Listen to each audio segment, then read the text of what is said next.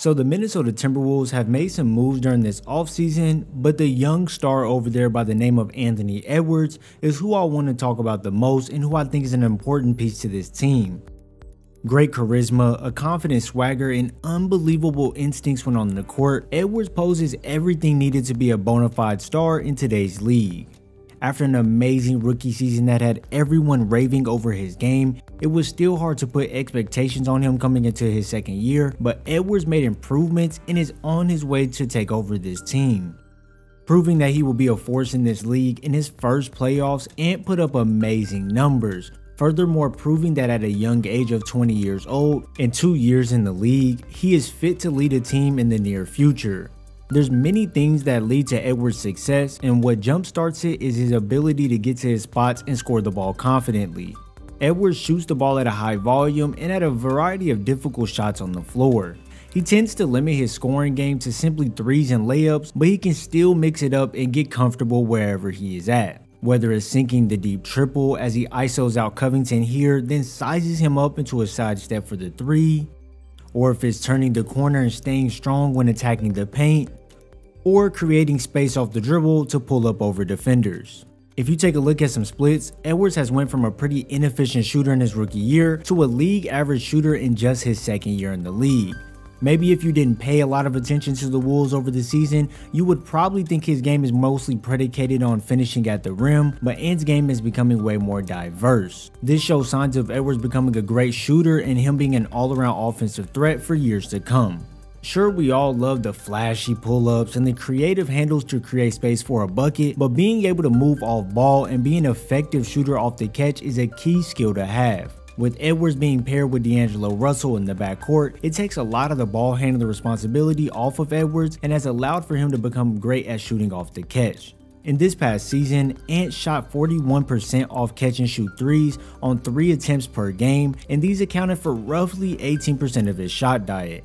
If Ant could up his attempts off the catch to around 5 to 6 a game, it could start to look scary as him and Towns will both be threats if you leave them open on the 3 to go help out on a drive.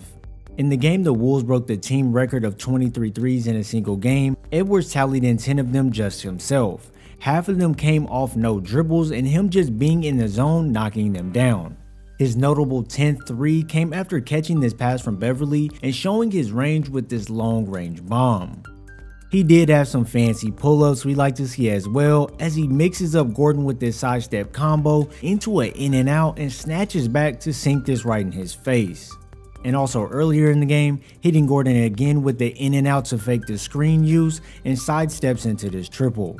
Taking a percentage drop from threes off the catch, Edwards sinks these pull-ups at a 32% clip, but they take up a larger percent of his shot distribution at 29% on 5 attempts per game. Being able to create his own shot from deep is very key as having a great screen setter in Rudy Gobert will make it easier to get open on the perimeter. Having a great lift on his jump shot allows for him to be unbothered and shoot over defenders. And if you couple that with Ant's ability to create space utilizing side steps, step backs, nasty crossovers, then this is honestly the recipe to a highly dangerous shot creator. With confidence in transition, Edwards just pulls up right over Melo with no hesitation at all. Here we see Towns set this screen allowing Edwards to get open for a split second and he drains his three over the outstretched hand of Sengun. Those exact looks will benefit the Wolves team greatly as KAT will be able to pop off those screens more than not now that Gobert will be the dominant paint presence and it will help for Ant to get good looks at the rim.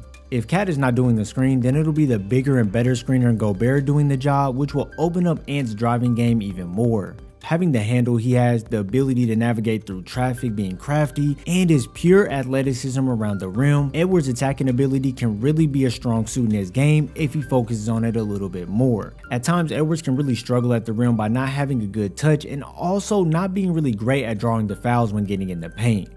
Attacking here, he elevates over George with pure athleticism and just blows the easy gimme at the rim. Protecting the ball better when going up is what is the most noticeable as he tends to be pretty loose with the ball on his way up sometimes and it results in wild shots. These will be things that I believe will be quite easy fixes going forward but on the bright side, Edwards still finishes pretty well for a second year player and has very good footwork when in pursuit to the rim.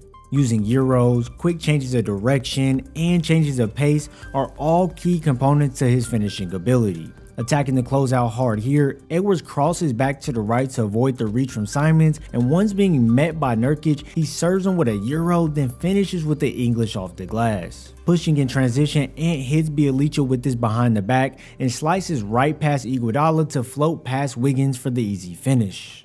Edwards has an array of finishes around the rim, not to mention he can put you on a poster at any given moment in the game tweaking some minor things to his inside game over the next few years, such as a softer touch, developing a mid-range jumper and floater, and also keeping the ball under control when going up, will make him even more difficult to cover on the floor. Next season, Edwards is going to be a major component to this Wolves team and will make a tremendous leap in his game. Things I'm mainly looking forward to see is better playmaking skills on the offensive end and ramping up his defense. We've seen him show flashes of skill in both those aspects, so hopefully that's a sign that he will progress even further. This Wolves team is up and coming, and I believe Edwards will soon be the leader and really shine a light on this team even more. Let me know how you feel about Anthony Edwards and how this Wolves team will do next season. If you enjoyed this video, you have to watch the video I did over the Timberwolves and how each player will impact their success or you can watch this video over Darius Garland and how he's going to be an emerging star in today's league. Thank you for your support and I'll see you in the next video.